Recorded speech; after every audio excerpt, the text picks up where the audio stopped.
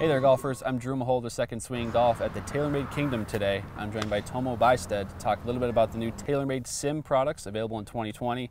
Uh, specifically today, we're going to talk about the Sim irons. We've got the Sim Max and the Sim Max OS irons. Mm -hmm. I know you guys have transitioned from the M family to the Sim family. Right away, when you look at these irons, I noticed the Speed Bridge, which was available in the M5 and M6 irons. Well, how did you guys come to the decision to kind of carry that over? I'm sure a lot of it was just simply mm -hmm. the, the Speed Bridge was successful. Mm -hmm. Yeah, absolutely. Speed Bridge uh, was successful in, in year one with M5, M6, and you really breakthrough technology and, and, really delivering incredible sound and feel in a club that also produced a lot of distance. So it was that great union. And we knew that, you know, whenever you have a new technology, you can always refine it for version mm -hmm. two. And so we, we um, our engineers spend a lot of time in terms of optimizing sort of where that bridge crosses the back bar to really deliver an even more flexible face. We actually thinned out the face a little bit, made it even faster, but that speed bridge across the back helps support the mm-hmm. face mm -hmm. and really deliver really solid feel. We, are essentially what we're going for is sort of forged feel. And then the okay. second new component that does that for us, that's different from M5, M6, is really the new damper.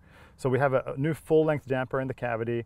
Uh, we call it an echo damping system, and that damper uh, allows us to not only provide more damping across the face even on miss hits, uh, but also it's designed in such a way not to impede the flexibility of the face. So it's really, again, combining that mm -hmm. speed with excellent, excellent sound and feel. So Tomo, there's two different models uh, in that Sim Iron family. We got Sim Max, Sim Max OS. Mm -hmm. What are golfers going to notice uh, in terms of the difference between the two? Yeah, so uh, it's a great question. There's basically uh, the same basic technology package. You get the speed bridge in both of those, you get the echo damping system, they both have speed pockets, 360 undercut, fluted hosels, all that great technology that you've seen from TaylorMade.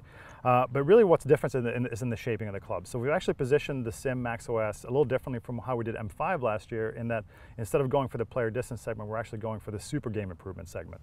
So we've actually made that iron a little bit bigger than the Sim Max. The OS is obviously oversized, uh, a little taller face, a little bit more offset, a little thicker top lines, really to give it a little bit more of an confidence inspiring look, a little bit easier to play, uh, a little more forgiveness in the club. And the other thing, because we have that bigger, thinner, faster face, we actually also strengthen the loft a little bit. So we have about a degree and a half stronger loft.